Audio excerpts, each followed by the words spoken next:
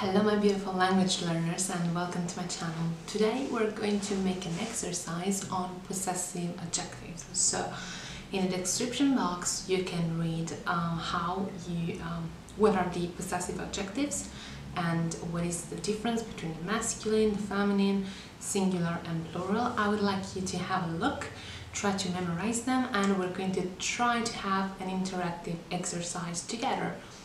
So uh, I would like to introduce along with the notion of the possessive, possessive adjectives also some vocabulary. So um, the purpose is to make this more um, fun and to uh, enjoy more. So for example, I am going to say uh, the name of uh, some piece of clothing and I'm going to say it that you have to decide if it's his or hers or yours or theirs and so you can uh, pause the video and then you can put it play and I will give you the correct answer. So let's get started. So this is a maglia t-shirt and I want you to think about her t-shirt. How would I say that in Italian? You can pause it here and I will give the answer later. So the solution is la sua maglia. That's because la maglia is feminine. Um, now uh, I want to say um, his shirt. La camicia is shirt. So we know that it's feminine and even if it's his, it stays the same, stays the same. La sua camicia.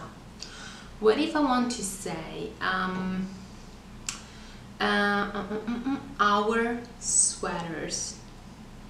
Our sweaters. So a sweater is la felpa. The plural is le felpe. So I would say our sweater, our sweaters? Le nostre felpe, our sweaters. Uh, what if I want to say um, il mio pigiama, my PJ.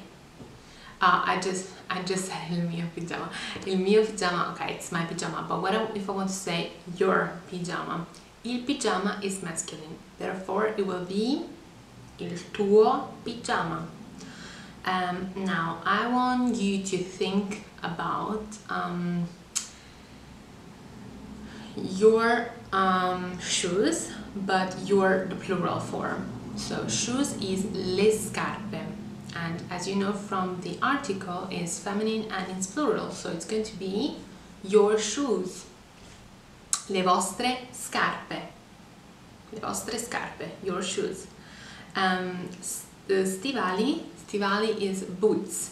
Gli stivali. So you know that it's plural and it's masculine so how would I say my boots? I miei stivali. Um, mm, her skirt. Skirt is gonna gonna skirt and it's feminine la gonna. So her skirt will be la sua gonna.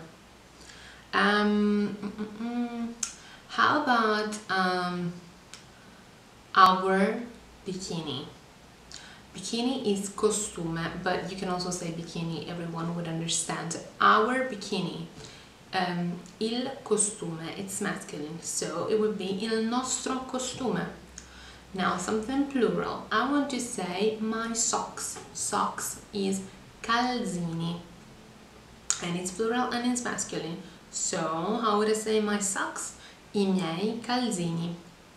Um, mm, slippers. Um, I want to say it's um, my slippers are different than yours. So um, slippers is pantofole and it's feminine and it's plural. Plural. plural. so I would say le mie pantofole sono diverse dalle tue, both feminine and both plurals. If you're not familiar with the notion of singular and plural articles, I will put the uh, link of the videos where I explain that in the description box. Um, how do I say um, his, uh, his hat?